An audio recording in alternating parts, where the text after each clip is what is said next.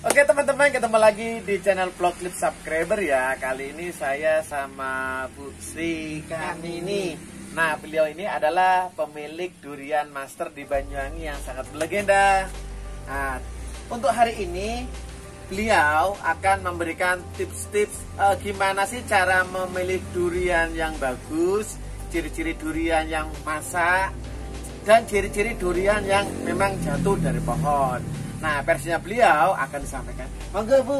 Iya, iya. Nah, Nah, ini yang betul-betul jatuh dari pohonnya. oh begitu. Kemudian tidak bisa langsung dimakan. Dimakan paling enggak besok pagi atau dua hari lagi. Sebabnya sebabnya ini namanya selain durian master bisa juga diekspor dua hari belum bisa dimakan. Antara jarak 2-3 hari bisa dimakan ya. Oh, jadi eh, bahasa mudahnya jatuh dari pohon des- Tidak bisa langsung itu dimakan. tidak bisa langsung dimakan. Tidak bisa. Iya. Menunggu Tidak. dua hari. Ya ya. Oh, jadi ini ibarat Baunya yang menyengat. Kalau sudah baunya Ya. menyengat. ya. Hmm. Kalau sudah baru bisa dinikmati. Ah, Ibu, mengapa acuannya dua hari? Karena begini kalau pemikiran saya. Berarti ini termasuk durian keluarga. Misalnya ada Iya, iya. durian ada saudara kita di luar kota di Jakarta, Iya, Surabaya. betul. Berarti ini bisa dikirim ya? Oh bisa mas. Bisa, karena kan tidak langsung. Berarti ini eh, bisa jadi ya, memang eh, dagingnya tebal dan kulitnya ini standar ya. Oh iya iya iya. Iya standar. Oke, ini eh, jatuh dari pohon. Terus misalnya kalau ciri-ciri durian yang memang apa ya isinya banyak itu yang gimana kalau kita bandingkan? Oh.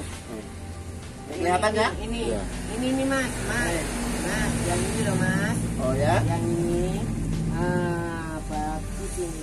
Ini Itu kalau kulit sudah juringnya dibuka, kelihatan, ya? Dibuka di tengah sini, Iya.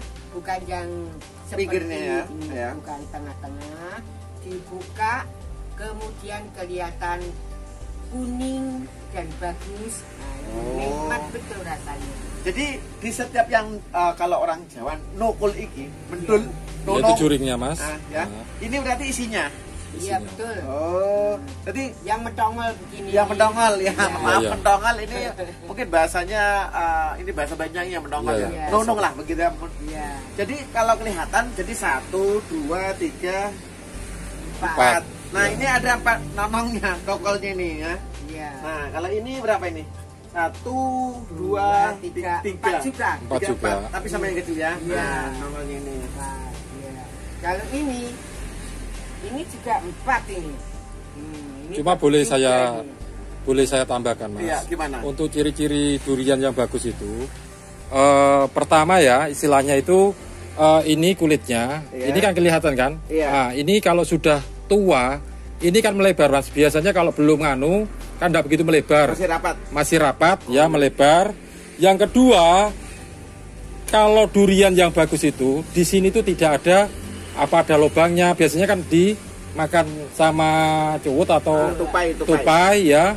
Yang kedua, ada misalnya ada bintik-bintik hitamnya karena Ada ulat. ada ulatnya atau apa ya Mas ya. Oh Iya. begitu ya. Terus yang ketiga, pada saat dibuka sudah matang itu, Iya. buahnya itu rapat berwarna kuning ya Bu ya dan Oh, berwarna harum Hmm, itu ya. Iya. Hmm. Oh iya oke. dan bisa ditandai dengan kalau memang masak itu istilahnya tuh sudah berbau berbaunya menyengat.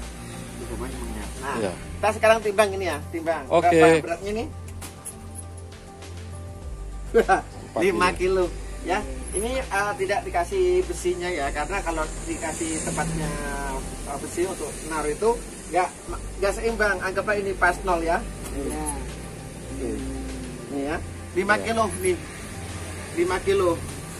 Hmm, Ini biasa dimakan ya ini ya. Insya Allah bisa Mas Ini, tapi kalau memang itu biasanya kalau memang ditandai kalau buah itu bisa dimakan kalau memang ini masih sudah berbau tapi sudah tidak belum begitu menyengat Jangan Ah. dimakan dulu. jangan dimakan dulu istilahnya nunggu dulu Mas menunggu dulu tetap ya. Iya. Ini Pak, ini masih Pak, masih Bawan yang agak menyengat. Mhm. tapi ya insya Allah besok baru bisa dimakan dinikmati mas Dinikmati, kalau ya. dinikmati khawatirnya kalau langsung dinikmati kan karena kan jatuh biasanya bukan kayak durian lokal kan misalnya jatuh kan langsung bisa dinikmati Iya. ya khawatirnya kalau belum dinikmati belum buahnya itu belum begitu eh, apa itu namanya kayak lunak lunak kayak gitu masih Iya. agak keras sedikit ya Oh itu ya.